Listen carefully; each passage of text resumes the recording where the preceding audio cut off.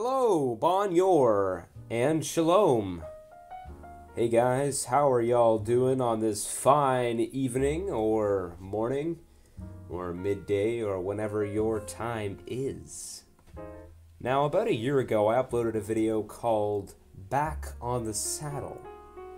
And you know, when I made that, I really did believe that I was back on the saddle, but I wasn't. And I think I am now. I think I'm back on the saddle. I think the time is nigh. I think the time to strike is now. The iron is hot. I'm ready to trot. You're looking like a thought. Sick rhymes aside, I have for the past few months been wanting to get back into YouTube, but I kind of thought, oh, that's work, so let's let's not do that. But up until a few days ago, I'm like, oh, okay, yeah, it's work, whatever. Let's just do it because I know it's gonna be something that I've accomplished afterward, and it's gonna be hype. It's gonna make me feel hype. It's gonna make all y'all feel hype because you're gonna be like, dang, this is revolutionary, and yes, it is. Thank you. And so this revolutionary idea is called M Talks. And I know that title is pretty garbo, so if you got anything better, I'd love to hear it because yikes, that's a big why. It would be a series of videos where I'm just gonna talk about whatever's catching my attention, whatever is grabbing my eyeballs. I just want to share stuff with you guys, in my opinion on things. It's probably just my arrogance, but I feel like I have something maybe a value to say. If maybe my two cents is worth maybe three cents. Right now, I want to be talking about philosophy and just human psychology because that fascinates me. The big why. This this man, oh, he did this crime. Okay, he did it. We know how he did it. But why did he do it? Did he do it just for the money or did he do it because is there something deep within his psyche that, you know, needs to be satisfied? The questions raised from this field are exactly what get me so very intrigued and enable me to think on a deeper level. Now, I wouldn't doubt some of you, if not all of you, have wondered why things and people are the way they are and have used these questions and the overall pursuit of knowledge as a means to motivate and spark innovation. And that is precisely the topic of today's video motivation. As described by an incredibly pragmatic and resourceful site called RhymeZone, which have you guys heard of like the dictionary, like dictionary.com and thesaurus? Yeah. They ain't got nothing on RhymeZone. RhymeZone is the new king of the hill, my guy. Imagine having all the shite those sites have, plus rhymes and other things. You got your antonyms, your synonyms, you got all the nims. It's just a better site, guys. I'm not sponsored by them because, of course, I don't have a sponsor, but I'm just going to tell you now you gotta check them out. If you do any sort of writing, if you got schoolwork, whatever, you got your rhymes, they're gonna get to you on time because it's not always easy to rhyme on time. But with RhymeZone, you're gonna be just fine. So, anyway, they describe motivation as the psychological feature that arouses an organism to action towards a desired goal.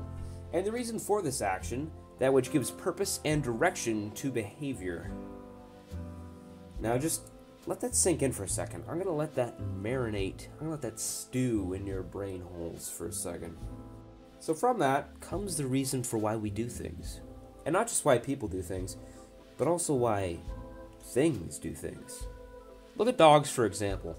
From my basic understanding of animal psychology, I conclude the reasoning of a dog's actions are purely instinctual.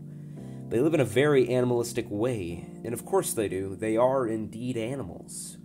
But when I think about the way dogs operate, I see our human instincts falling not too far away from them. But whereas we have rules and morals, dogs just do dog things. Let me tell you, this fits in right with how I see motivation. You see, the modern English word is actually derivative of the Latin word movere, which I've absolutely butchered, which means to move.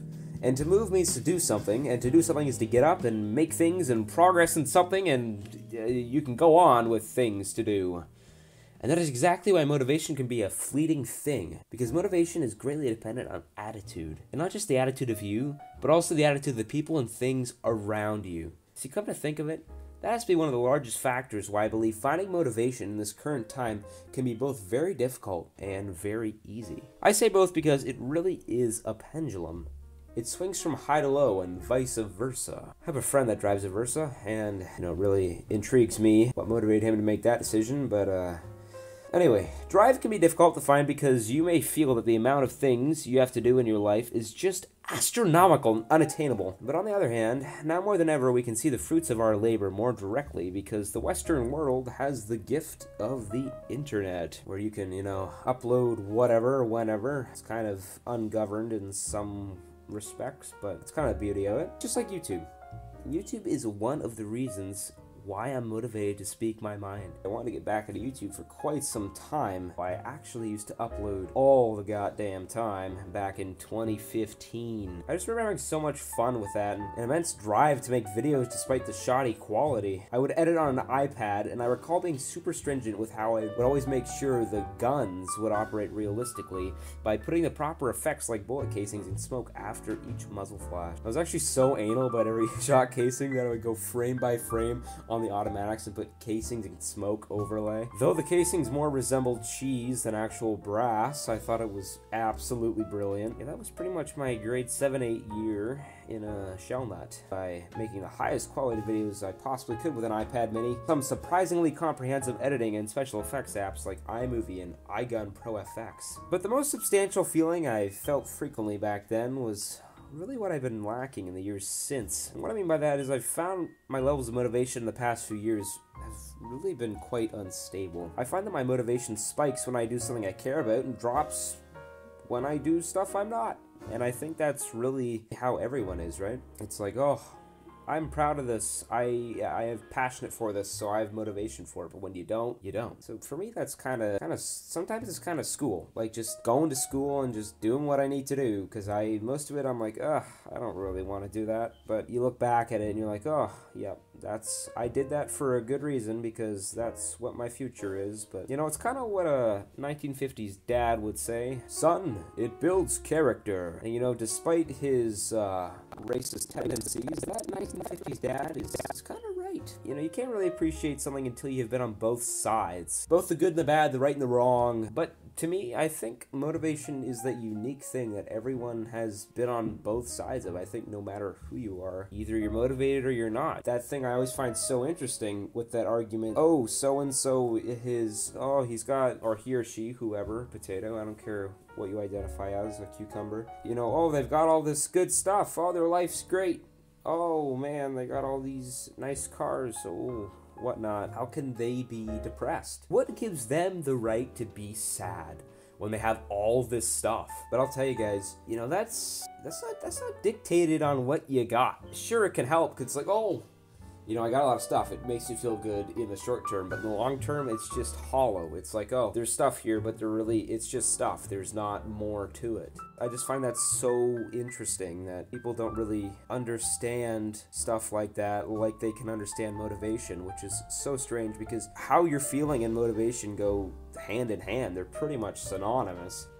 If you guys are going to take one thing away from this video, let it be that motivation is dependent on you. It's dependent on what you do and don't do, what choices you make and what choices you don't make. Sure, there are other factors, external and otherwise, that will also play into this, but it really is on you. So it's time to just get up and do that thing you gotta do, because afterwards you're gonna feel pretty swell.